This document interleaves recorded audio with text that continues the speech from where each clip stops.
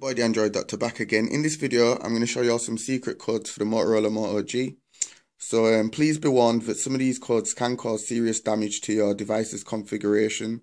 So don't play with something you don't fully understand. So um, the, the first code we're going to look at will provide you with your IMEI number for your phone. So um, we're just going to open up the dialer. So to find this number, you'll have to type in star hash zero six hash and it'll bring up your IMEI number. And the second code we're gonna um, type in, this will bring up information about your phone and your usage um, stats. So to bring up this information, you'll need to press star, hash, star, hash again, four, six, three, six, hash star, hash and star again. And you'll see these options come up here. So phone information, battery information, usage, statistics, Wi-Fi information, CMAS test alerts. so let's just have a look at phone information. So there you have your IMEI number again, phone number, um, current network, you can also run a ping test.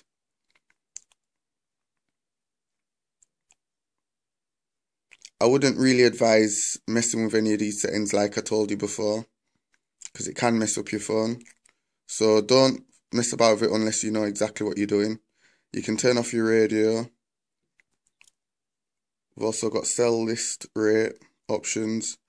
Turn on IMS registration requirement. Turn on SMS over IMS, turn on LTE RAM dump.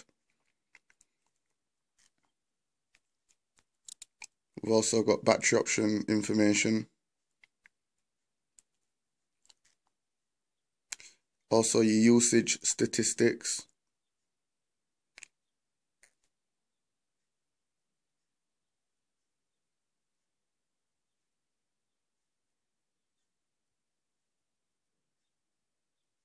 And there's also also some more options here for the usage statistics. So you can you can check out the usage time the launch count and app name.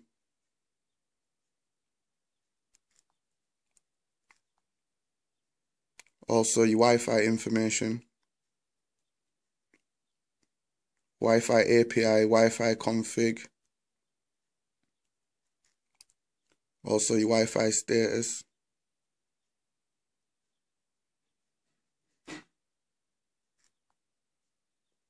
And CMS test alerts.